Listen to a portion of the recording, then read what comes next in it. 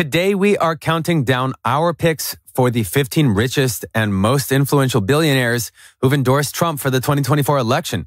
For some, this is their first time getting into politics, and for others, they've done it for years. But all of them have thrown millions of dollars behind the former president. We'll explore who they are, how wealthy they are, and how they're helping Donald Trump's campaign. First on our list at number 15 is billionaire Isaac or Ike Perlmutter. Ike Perlmutter, who was the former chairman of Marvel Entertainment, moved to the U.S. in 1967 with just $250 from Israel and has since grown his riches to an estimated $4.9 billion. Over the years, Ike has long been a friend and a sort of informal advisor for Trump. And in this election, it looks like that isn't changing. In fact, his wife, who is also a Trump supporter, has given more than 20 million to Right for America, which is one of many pro-Trump super PACs. Next on our list, we have Richard and Elizabeth Uihlein, who own the packing and shipping company Uline. Together, they are worth a combined $12 billion, but individually, they have half that, with $6 billion each. So they find themselves on the 14th spot on our list. When this cycle started, they threw their support behind Ron DeSantis in his presidential bid, where they each gave 1.5 million or 3 million total to never back down, which was one of his super PACs. But when Donald Trump became the confirmed nominee, they each gave $5 million or $10 million total to Trump super PAC MAGA Inc. Prior to Trump, though, they have been reliable longtime donors giving to a variety of conservative candidates and causes, and I don't think even in the next election that'll change. Moving on to number 13, we have hedge fund titan Paul Singer, who's worth $6.2 billion. Originally, he backed Nikki Haley in her bid for the presidency, but in total, he has given over $40 million to political groups, including 10 million to each congressional and Senate leadership super PACs. With how politically active he is, it's definitely a good thing for Trump to have him on his side. Next up in the number 12 spot, we have Kelcy Warren, current chairman and former CEO for pipeline company Energy Transfer Partners. As of today, according to Forbes, he has a combined net worth of $6.7 billion. You might also know him for the highly controversial Dakota Access Pipeline, which his company owns. In 2020 and 2016, Warren was a major Trump backer, giving his campaign over 100 million in the former and over 11 million in the latter. When this cycle started, like some of the other people on this list, he was giving money to DeSantis aligned super PACs, but since then he has given over $6 million to Trump. Besides just giving him money, though, he has hosted campaign events for Trump, with one even bringing in over $15 million. Even though he's lower on this list, he is pretty active, even going as far as to host events. But that pales in comparison to some of those higher up, so be sure to stick around to see what some of these other billionaires are doing. For number 11, we have Jeffrey Hildebrand, the founder and CEO of oil and gas company Hilcorp. Having a net worth estimated around $7.6 billion, he has been very politically active in the conservative sphere. Since this cycle has started, he has donated to Doug Burgum, Nikki Haley, Ron DeSantis, Trump's former VP Mike Pence, Tim Scott, and of course, Trump himself. Hildebrand is a part of a very niche oil and energy tycoon demographic that Trump has directly appealed to in this election with promises of a pro fossil fuel and anti regulation presidency. And because of that, he isn't the only one in this industry that gets on this list. More on that later, though. In the number 10 spot, we have venture capitalist Douglas Leone, who is worth an estimated $8 billion. Unlike many others on Silicon Valley's right wing who have only recently embraced the GOP, Leone has been giving to Republican candidates for years. Just for reference, while not on this list, fellow venture capitalists David Sacks and Chamath Palihapitiya, as well as Leone's fellow Sequoia partner Shaun Maguire, have endorsed Trump for the first time this election cycle. So it is a growing sect. When this cycle started, he had donated a total of $2 million to a pro DeSantis super PAC, but when it was clear he wouldn't win the nominee, he turned to X to announce his endorsement for Trump, stating his concern for many growing problems in this country. Personally, I don't know who Leon was before the making of this video, but his post was able to get 21.8 million views, so it definitely made some waves. The last person who has a net worth just shy of $10 billion is William or Bill Ackman, the founder and CEO of Pershing Square with $9 billion.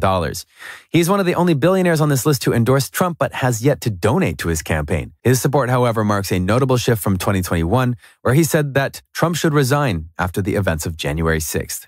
So that really just shows you how popular and how much support Trump is pulling in this election from all corners of the country. Moving into the 11 figure range, we have chairman and CEO of Fertitta Entertainment, Tillman Fertitta, who is worth an estimated $10.3 billion.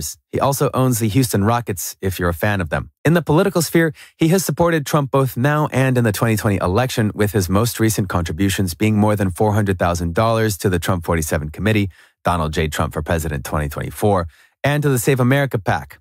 And in May, he hosted a fundraiser at his Post Oak Hotel, which Trump attended. In the number seven spot, we have Home Depot co founder Bernard Marcus, who's worth an estimated $11.5 billion. Marcus is a very early MAGA supporter with donations totaling $5 million in 2016 and $10 million in 2020 to Trump related super PACs. Funnily enough, this does put him at odds with his fellow co founder Arthur Blank, who is a reliable Democratic donor. He and his wife, who were, fun fact, the seventh biggest individual Republican donors in 2020, live in Atlanta, and have also donated vast sums of money to key races. So far in 2024, the 94 year old and his wife have donated $2.7 million to the Trump campaign. And with his track record, I wouldn't be surprised if that ends up skyrocketing in this last month. Moving into the number six spot, we have Texas based banker Andrew Beal, who is worth an estimated $12 billion. Before politics, he and Trump were reportedly friends, and now he has been one of the biggest supporters in the past, even going back to his first run for office in 2016, where he said he has the money to fund his pro Trump super PAC. And yes, he did go on and start the Save America from its government PAC. In 2020, he donated several million dollars to Trump related super PACs, but in this election, he has apparently donated a whopping $1.8 billion. With all this support coming from Beal alone, Trump is definitely lucky to have him. Right before we hit the $20 billion plus people, we have oil and gas magnate Harold Hamm, who's worth an estimated $18.5 billion. In 2022, he said that Republican, Democrat, I'm an oilocrat. Overall, though, especially in this election, he has supported many Republicans with a couple thousands going to DeSantis and Haley. And prior to Trump being the nominee, apparently he had told Trump to end his campaign, citing the chaos it could cause. But since then, he has donated almost a million to Trump and has endorsed him. With only four billionaires remaining, this is where net worth and influence will start to skyrocket. In the number four spot, we have America's richest self made woman, Diane Hendricks. She is a former Playboy bunny who co founded ABC Supply, a building materials company, and is now estimated to have a net worth of $21.9 billion. In politics, though, she is a regular Republican donor, even serving on one of Trump's fundraising committees as vice chair in 2016. This cycle, she donated almost 16 million to pro-Trump super PACs and committees, and total, she has donated about $844.6 million to the Trump 47 committee. Next up in number three, we have the widow of casino mogul Sheldon Adelson, Miriam Adelson, who is estimated to be worth about $34.8 billion. Her and her husband, before he passed in 2021, have been longtime Republican mega donors, with Trump getting over $120 million in 2020. In total, in that election, they had donated a combined $220 million to Trump, as well as other Republican candidates and causes. Her husband also had received the Presidential Medal of Freedom from Trump. So that just shows you how connected and how important they are as supporters. Even though her husband has passed, she is still bringing back her Preserving America super PAC and is planning on donating over $90 million. I wouldn't be surprised if she ends up donating more given her overall net worth as well as the importance of this election. But regardless, I'm sure that 90 million is enough, especially given how well Trump is doing right now in the polls.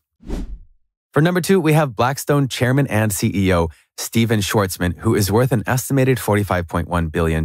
Looking at his most recent net worth update, he has apparently lost $230 million, which is just 0.51% of his total wealth. Not important at all to politics, but it's funny just how much money he really has. After the 2022 midterms, he said the Republican Party needed a new generation of leaders, hinting that he didn't think Trump should be the nominee in this election. But since then, he has stated that the dramatic rise of anti Semitism has led me to focus on the consequences of upcoming elections with greater urgency and has since thrown his support as well as millions of dollars behind Trump. And finally, in the number one spot, one of the richest and most powerful men in the world by far, as I'm sure you could have guessed, Elon Musk, owner of X, CEO of Tesla, CEO of SpaceX, CEO of XAI, and the richest man in the world according to Forbes with an estimated net worth of about $258.9 billion. Musk, who usually leaned to the left and wasn't ever really politically active, announced his endorsement for Trump right after the events that took place in Pennsylvania in July, where it was also reported he would be donating a huge sum of $45 million per month to his campaign. The actual amount that he is donating isn't disclosed, but if you just look at his X account, he is very active on there and very vocal about his support for Trump even going so far as to have a profile picture of him with a MAGA hat on and a bio that redirects people to a pro Trump super PAC. Out of all these billionaires, given Musk's influence online as well as his huge sum of money, I think it's safe to say that he is giving Trump the most amount of support. But it isn't a competition since all of the people on this list are fighting for a common cause. But what do you think will happen? Will their support be enough to get him reelected? Did any of these people surprise you? Let us know in the comments.